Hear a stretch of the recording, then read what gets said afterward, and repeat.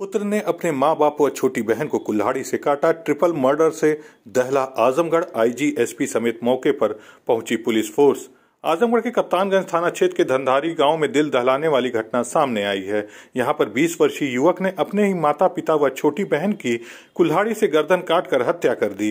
घटना बीती आधी रात की बात की है। सुबह गाँव वाले टहलने निकले तो आशंकावश उन्होंने घर में देखा तो तीनों की लाश बिस्तर पर अलग अलग पड़ी थी, जबकि उनका पुत्र लापता था। घटना की सूचना के बाद मौके पर IG Azamgarh range, Akhilesh Kumar, police अधीक्षक अनुराग आर्य समेत पुलिस अधिकारी व डॉग स्क्वाड फ़ील्ड यूनिट मौके पर पहुँच गई थी।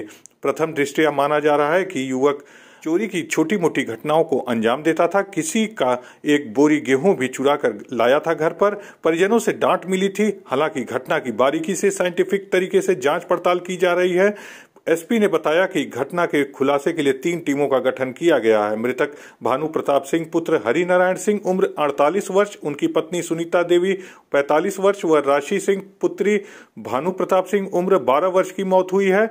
बताया जा रहा है कि एक दिन पूर्व ही भानु प्रताप सिंह ने अपने पुत्र को किसी बात को लेकर डांट फटकार दिया था। इसी से नाराज़ होकर उसने वारदात को अंजाम दिया और घटना के बाद मौके से फरार हो गया।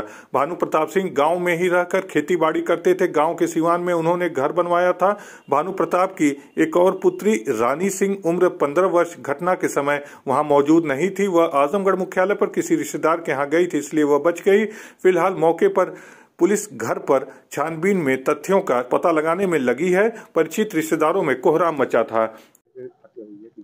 थाना कप्तानगंज अंतर्गत धंधारी गाँव में आज सुबह सूचना मिली कि राजन सिंह उम्र 20 वर्ष के द्वारा अपने पिता श्री भानु प्रताप सिंह, माता श्रीमती सुनीता सिंह और तेरह वर्षीय बहन की कुल्हाड़ी से हमला करके हत्या कर दी गई है। इस सूचना पर तत्काल S H O CO additional S P R A मेरे निरीक्षण किया गया है। आईजी सर आजमगढ़ परिक्षेत्र द्वारा भी घटनास्थल निरीक्षण किया गया है। फ़ील्ड यूनिट और डॉग स्कॉट को मौके पर बुलाया गया है। इनके द्वारा एविडेंस कलेक्शन पूरा किया जा रहा है।